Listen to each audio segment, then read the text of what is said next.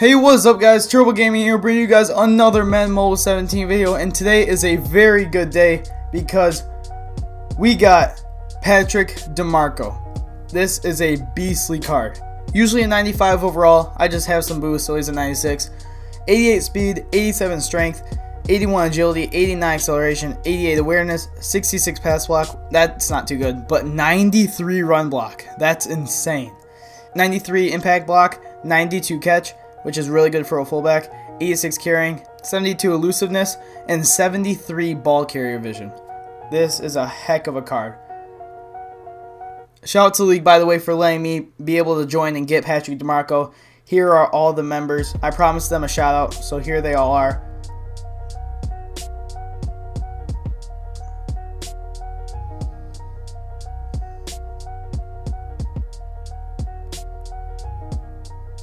And if you would like to join, our league is called the Cuban Refugee Boat Lift.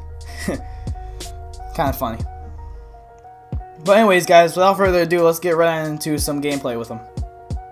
Alright, first run of the day with them. And, I mean, not terrible.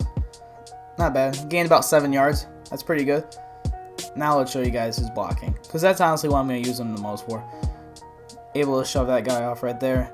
Go take out another one, and that is an easy touchdown. There he is, shoving people out of the way.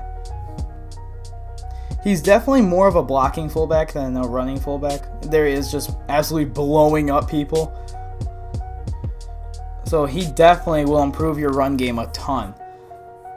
But other than that, I wouldn't. He's not that big of a uh, running fullback, in my opinion, at least, because I can't really do anything.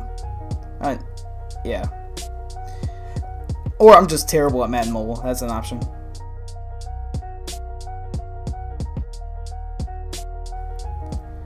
So once you get him, guys, I suggest... Oh, my lord, he just wrecked that guy.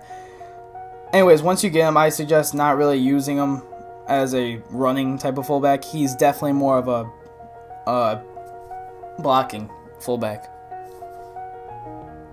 And just a little extra for the video since I was able to just now complete this player pack. And the new players just dropped. I'm just going to open this real quick. Hopefully we can get Kelvin Benjamin, 85 overall wide receiver, because he's the best. Okay. Landon Collins isn't bad either.